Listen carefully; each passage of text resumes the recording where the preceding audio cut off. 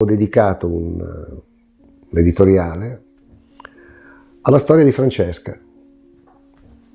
Com'è la storia di Francesca? Francesca viene da me a un gruppo e mi dice, ah dottore sapesse, io con gli uomini sono sempre accondiscendente e nella mia vita mi sono fatto un progetto.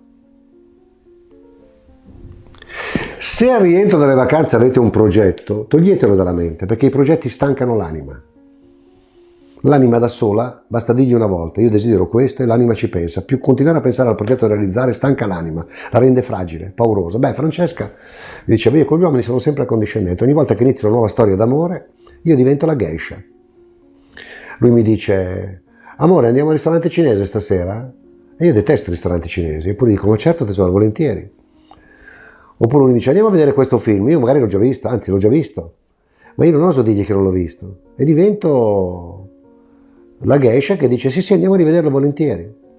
E così va avanti per un po' di tempo, in questo modo accondiscendente e servizievole, salvo che dopo un po' questo periodo in cui lei si sente un tappetino, improvvisamente ha una reazione furiosa, quello con cui lei stava non si, non si aspetta una reazione così furiosa perché l'ha sempre vista accondiscendente, e lite furiosa, il rapporto finisce.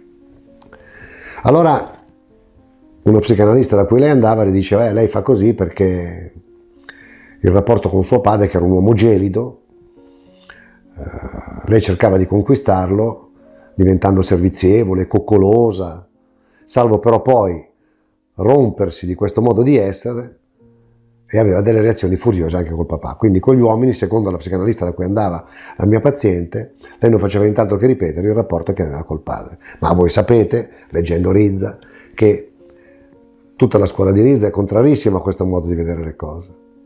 Se dentro di me compare la geisha, significa che la geisha ha qualcosa di me che vuole esprimere.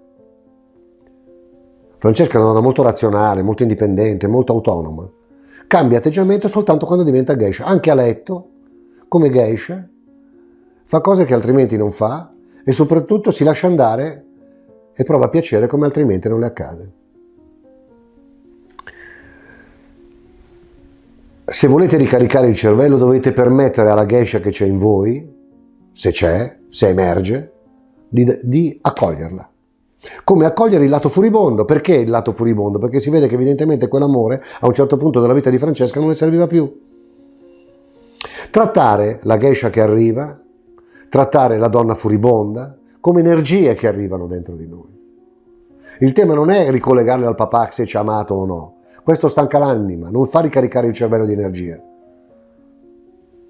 Ma dire adesso io sono la geisha, il resto si vedrà. Adesso sono una donna furibonda, il resto si vedrà. Ecco, io nell'editoriale entro nel merito a lungo su come affrontare le cose di noi che non ci piacciono e con le quali intratteniamo una continua lotta. Noi lottiamo contro ciò che non ci piace di noi e non sappiamo che così facendo cronicizziamo quello che di noi non ci va bene. Dobbiamo accettare quello di noi che ci va bene come un alleato, come un compagno di viaggio.